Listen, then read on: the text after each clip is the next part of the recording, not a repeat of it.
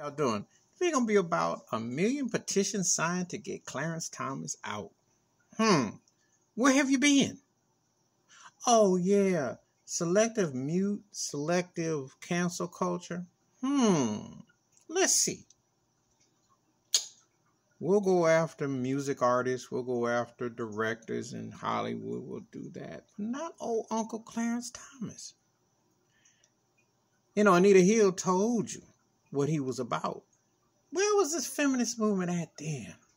Hmm. All his legislation. Where was it at? Oh, but now, because he's coming after your rights, now all of a sudden you woke up. Ben told you that this is one of the most biggest Sambo sellout, jive, tap dancing, bucking, clucking embarrassments of a black man ever. And he's top of the food chain. He's the king of coonery, queen of hate, self hate, self loathing, and embarrassment, and embarrassment beyond embarrassment. He he's so like even the worst Klansmen will look at Clarence Thomas and think, "Boy, you." I mean, we don't really want you that extreme. And I'm thinking, why now? Why are they all of a sudden so? Oh yes, because he's impeding on what they want. But it ain't been that way. Where's this energy been? He always been shuffling and he was pro right, pro right and pro and pro white. Got his clan wife with him, who's a lawyer, and she's even more embarrassing.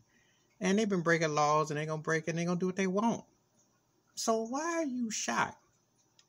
You should have been petitioned his butt out 30 years ago. But you didn't believe Anita Hill. So you selectively downplayed a black woman's significance and her honesty. Now you reap what you sow. I've been couldn't stand that buffoon. I mean, Clarence Thomas is the, been the worst. But what? But but because now he says, okay, we're gonna lock these plays, we're gonna stop these procedures, and then we're gonna end, end these other things. Now all of a sudden y'all hip to him. If you don't be studying the politics, then you don't know. He's always been a self-hating Uncle Tom, and he and he will do anything that he thinks is white. I mean, right. Well, same thing in his world and a lot of these people mindset, you know, because he's a good boy, and you pat him on the head and give him a cookie and some milk, and he's, like, he's a good boy. They tell him to fetch, so they get what they want. So it can't be shocked or surprised. It's like, why were you so late to the hours about him?